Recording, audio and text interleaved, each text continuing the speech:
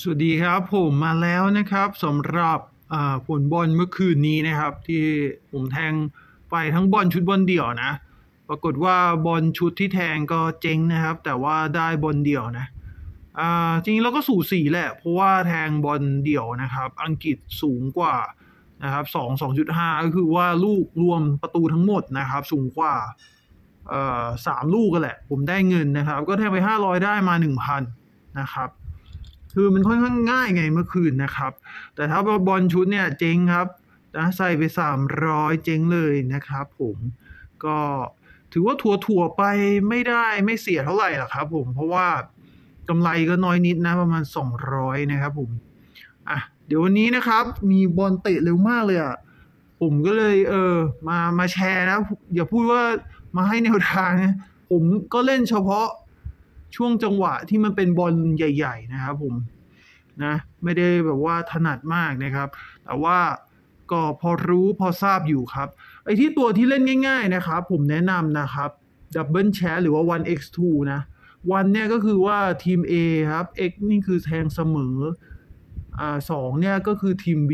นะครับ อย่างเช่นอาร์เจนตินา vs ซาอุดีเนี่ยถ้า 1 เนี่ยคือ 1 เนี่ย มันเป็นตัวแทนของอาร์เจนตินาครับ x คือเสมอ ซาอุเนี่ยคือเลขสองนะครับจะเห็นว่าซาอุออดดุมากนะครับยี่สี่เท่า เพราะมันแทงแค่ว่าใครชนะ ส่วนอาร์เจนตินาเนี่ย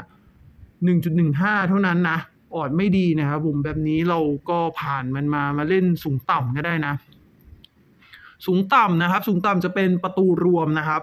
ทั้งสองทีมนะครับ ประตูรวมของทั้งสองทีมนะครับ อันนี้ผมเล่นประตูรวมสองทีม หมายความว่าเนี่ยผมเลือกเอ่อผมว่ามันน่าจะเตะ รวมกันเกินสามลูกนะนะครับ เพราะว่าดูจากทีมใหญ่ๆเจอเล็ก ๆ นะครับ อัดอัดแบบสามลูก โดยประมาณนะ แต่เมื่อคืนเนเธอร์แลนด์นะครับผมแต่เนเนเธอร์แลนด์เตะไปแค่สองศูนย์นะแต่คืนนี้ผมว่าอาร์เจนน่าจะบี้บี้แหลกเลยทีมเอเชียมันไม่ค่อยแข็งนะครับผมอะผมใส่ไปพันหนึ่งนะครับ มากกว่าสามนะครับ มากกว่าสามลูกหรือสามจุดห้านะครับ ง่าย ๆ ถ้าได้สี่ลูกนะครับ ประตูสองข้างนะครับ ทั้งอาเจนกับซาอุนะ ถ้ามากกว่าสี่ลูกเนี่ย ผมกินเต็มนะครับ แต่ถ้าอ่าสามลูกได้ครึ่งนะครับผมมาก็ออดมันสูงนะ เมื่อกี้แทงไปเนี่ยออดสองสองจุดห้านะครับ ถ้าแทงพันหนึ่งก็คูณไปครับ เราจะได้สองพันสองร้อยห้าสิบนะ คู่อื่นๆนะครับ คู่เดนมาร์กตูนิเซียเตะ เดนมาร์กก็น่าสนใจนะ แต่ผมจะเอาเน้นๆนะเพราะว่าคืนนี้ผมจะเบ็ด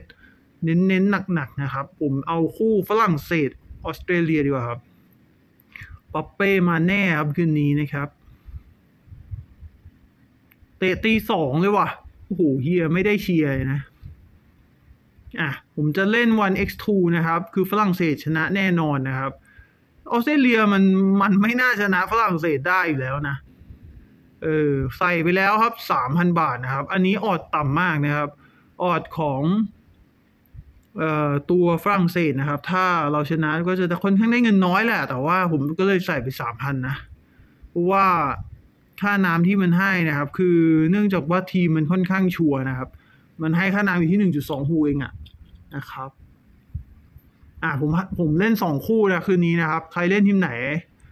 มาเม้นบอกกันหน่อยนะ ก็เดี๋ยวนี่นะครับเดี๋ยวผมไปเช็คบินเราแบบหนึ่งนะครับ เวลาแทงนะครับ ผมแนะนำแทงหน้ากีฬาเอเชียมันมีแบบเอ่อปุ่มกดคืนเงินง่ายดีนะครับ ถ้าสมมติว่าอยากจะยกเลิกบินนะก็ยกเลิกได้นะครับ แต่ว่าก็ถ้ายกเลิกบินเนี่ยอาจจะเสียส่วนต่างให้กับเว็บนะครับ อย่างเมื่อกี้เนี่ยที่ผมแทงฝรั่งเศสนะครับ ถ้าถ้าสมมติว่าเปลี่ยนใจไม่แทงเลย เราก็คืนเงินได้สองพันแปดนะครับ จากที่เราแทงไปสามพันนะ มันจะหักเราสองร้อยนะครับ นี่ไง แล้วก็อาร์เจนตินานะครับ ถ้าสูงกว่าสามหรือสามจุดห้านะครับนะครับ ประตูรวมนะครับแทงพันได้สองพันสองร้อยห้าสิบบาท อันนี้คือรวมทั้งทุนรวมทั้งกำไรเรียบร้อยหมดแล้วนะนะครับกำไรที่รวมทุนแล้วนะครับ โอเคนะ ประมาณนี้แล้วกันครับผมก็ใครเชียร์ทีมไหนก็ขอให้ร่ำขอให้รวยครับ คือเล่นอะ เล่นให้มันแบบมี limit นะ เอออย่าอย่าไปหักโหมมากเดี๋ยวมันจะดูไม่สนุกครับ